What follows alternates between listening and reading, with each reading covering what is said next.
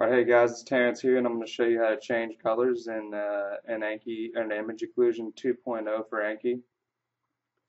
We're going to change the mask color and the initial color of the objects that that you that you use to create cards. So the options are here in Image Occlusion. You go to Tools, Image Occlusion 2.0 Options, and we'll be able to change the mask color, which is the color of the question, which it says right here. Uh, the answer will be underneath this color, and there will be generally one of them or so, however many you choose actually on the page. And then the initial color is the color of all the other occluded um, shapes that, that we make on the card that are not questions. And so, for instance, you might want to do this if you are looking at a picture like this and you want to make this look pretty nice because you want to, you know, give this to your friends or something. So, having a red mask would be terrible because you wouldn't be able to know which one of these because it blends in with the background. And then having white on here also looks bad because your background is red. So what I'm going to go ahead and do here is change the mask color to blue.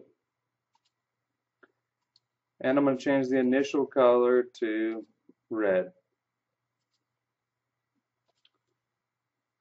And in order to insert a screenshot into image occlusion, all you do is select the image that you want.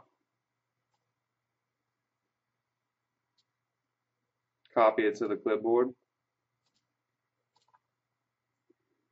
Open up the note editor for Anki and select image occlusion. And there we have it. There is the image I copied to the clipboard. I'm going to call this changed colors. This will be the header for my cards.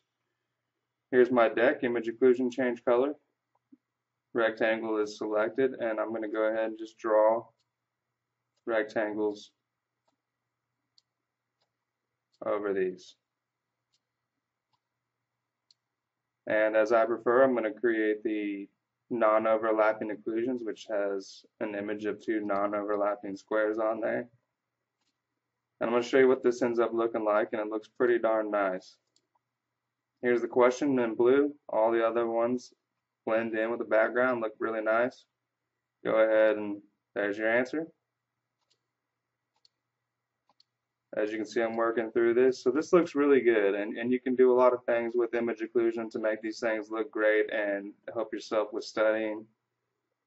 Um, if you have any questions, just let me know, and uh, thank you for joining me here, and, and, check out my other videos on how to use this and use uh, image occlusion, and, and uh, good luck studying.